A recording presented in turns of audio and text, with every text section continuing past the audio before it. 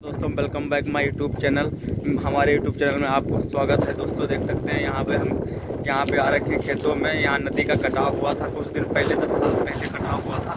अब यहाँ पे खेत, नदी ने पार दिया तो लोग खेती करने लगे। दोस्तों, देख सकते हैं, यहाँ पे इतनी भयंकर हवा चलती है, दोस्तों। क्या ही बताएँ हम।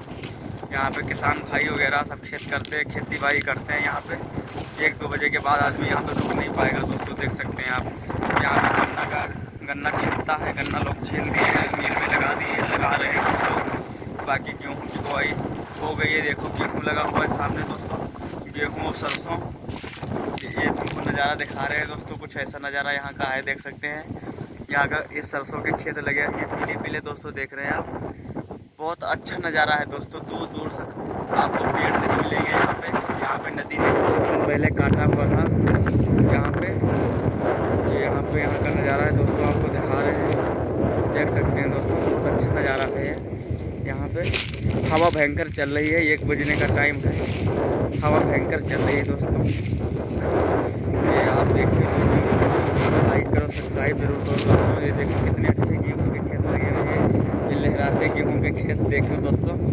आप देख के मज़ा आ रहा होगा दोस्तों, हमें भी तो आता है आपको भी आएगा इसी बात में कि दोस्तों ये वीडियो को लाइक सब्सक्राइब एंड शेयर ज़रूर करो दोस्तों प्लीज़ हम यही आपसे बोलते हैं, थोड़ा सपोर्ट करो। ये यहाँ के ये गन्ना लगा हुआ है, दोस्तों देख सकते हैं यहाँ पे। ये गन्ना ऐसा है ना, ऊपर इसके फूल आ जाता है गन्ने में। सारा गन्ना ऐसा नहीं होता है, कोई कोई गन्ना ऐसा होता है, देख सकते हैं दोस्तों। बाकी ये यहाँ के गन्ना ये छुल गया बाकी गन्ना छोड़ते हैं बाकी गन्ना की दवाई चालू है। बाकी ये किसान भाई वगैरह देखो घास छील रहे हैं यहाँ पे। किसान भाई घास छील रहे हैं, बाकी ये गन्ना इसको बोलते हैं पटैली पटैली ये कट गई थी, इसको पट गई है, उसके बाद खेती चालू हुई यहाँ पे इसको पटैली बोलते हैं दोस्तों। वीडियो को लाइक करो सब्सक्राइब करो। प्लीज़ दोस्तों, एक सब्सक्राइब तो बनता है, इतनी मेहनत करते हैं।